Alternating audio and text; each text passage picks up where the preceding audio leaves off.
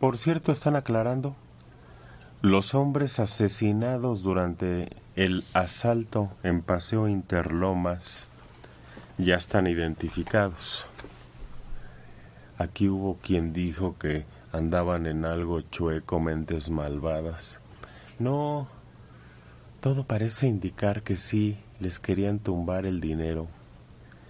Se resistieron y ya una vez que los abatieron, prefirieron darse a la fuga que sacarles el dinero. Porque fíjense, eran Ángel Silva Pérez y su hijo Jonathan. Fueron a ese lugar porque son trabajadores. Uno es carpintero y arquitecto. Hacen trabajos en Huixquilucan y fueron porque ahí alguien los contrató y les dijo, les voy a dar dinero para que hagan tal cosa. Y les entregó 90 mil pesos en efectivo.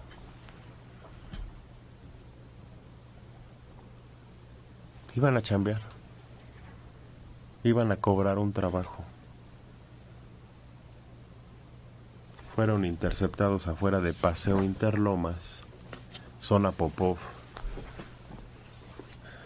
Y ahí ya no se puede hacer eso en México, sacar dinero de, esa, ese volumen al banco, ¿no? Pero... muchísimo. Entonces, ¿cómo le haces si necesitas el dinero? Porque cuando te dedicas a esto de la construcción... forma de pago. Porque... En la construcción necesitas el efectivo casi a fuerza, Mario. Ya lo sé, entiendo. Pero está muy expuesto eso se va la vida en unida al banco. Pues, alguna otra manera. Ya sé que son pocos los casos.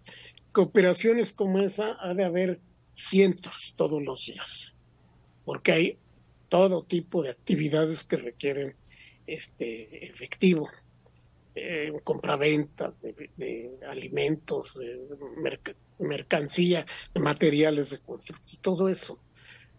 Pero el, se va perdiendo terreno, se va haciendo cada vez más difícil eh, trabajar honradamente en el país. Uh. Tienes que vivir del subsidio, tienes que acudir al subsidio, como decía ese. Ah, chido, tuvo, que tuvo que recurrir al subsidio. Sí, escuché bien. Dijo Mario, se hace más difícil vivir de modo honesto en este país. Sí, trabajar para, para ganar dinero es muy difícil. Entonces por eso los chavos... Es mal vista, es mal visto. E, e, el, el, gobierno lo ha señalado claramente. Por eso... Quien trabaja para vivir es un, un aspiracionista, los ha insultado. Entonces, de ahí se deriva todo esto. Entonces por eso el narco tiene tanto éxito, pues yo quiero ser narcotraficante, hacer lo que me dé la gana, tener mujeres, dinero, fama. Esos no son aspiracionistas, son seres humanos. Aunque le dure poco el gusto. Lo ha dicho. Es que, ¿cómo nos extraña eso? ¿Cómo nos extraña? Es la filosofía del actual gobierno y no importa que no dure mucho, Agustín, pues tú... el chiste es alcanzarlo. Me preocupo mucho, me preocupa mucho. No sé cómo lo vean ustedes. El éxito de peso pluma, ayer me lo decían, es preocupante, me dijo alguien, porque eso significa que la cultura del narco ya triunfó, ya abarca.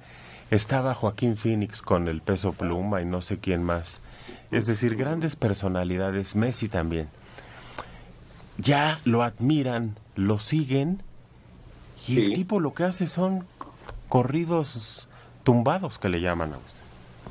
Exactamente, es que no permió, sino que ya es parte natural de una zona muy amplia de la cultura mexicana y de la cultura popular y de eso que se llamaría la base social mexicana a la cual se le dice becarios, no sicarios, pero no, lo que ocurre es que los jóvenes prefieren apostar su vida a intentar ingresar y cuando no se los levantan, se los llevan y a fuerza los meten a las filas más bajas de eso que se llama narcotráfico o las organizaciones que se dedican a ese tipo de cuestiones de crimen organizado, crimen organizado, porque la otra opción para muchos de esos jóvenes es ingresar a la policía o al ejército y los mandan casi casi a enfrentarse sin nada que poder oponer porque van desprotegidos.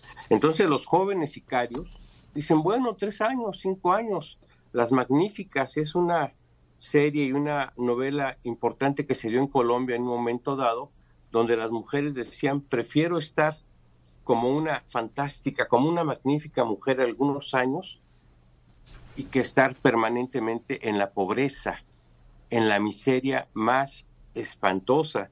Y la que está ocurriendo en el país es esa seducción, atracción, diríamos fatal, hacia el nulo esfuerzo y el mayor éxito que les ofrece el crimen organizado, aunque la muerte está tres segundos adelante. Pero muchos de ellos prefieren intentarlo al menos, tener alguna ocasión alguna vez, ese esplendor, ese oropel, que trabajar, estudiar y lograr algo honestamente. No es que lo quieran, es que no tienen oportunidad de estudiar, de trabajar. Eso. Honestamente, no, no es que lo quieran, porque antes todavía hasta el sueño americano se prestaba como una oportunidad para salir adelante. Ahora, ¿para qué haces dinero? ¿Para qué haces dinero?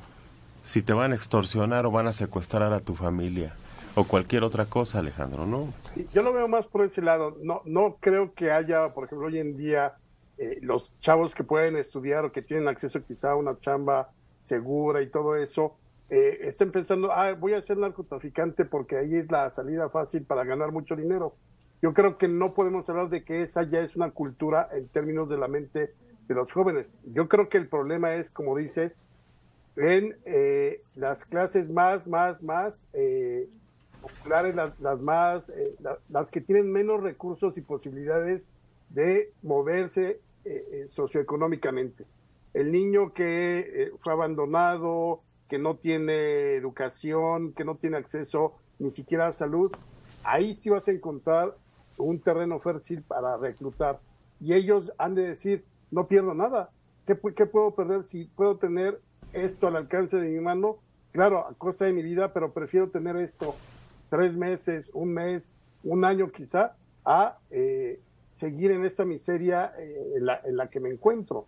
Yo creo que tiene que ver más con las condiciones socioeconómicas de esa eh, parte de la población que vive en la pobreza absoluta o eh, en una pobreza mayúscula.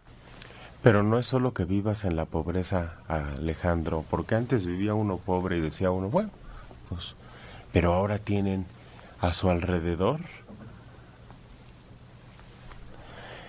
seductores que antes no teléfonos, ropa, mujeres, vehículos, drogas, fiestas que antes no te incitaban.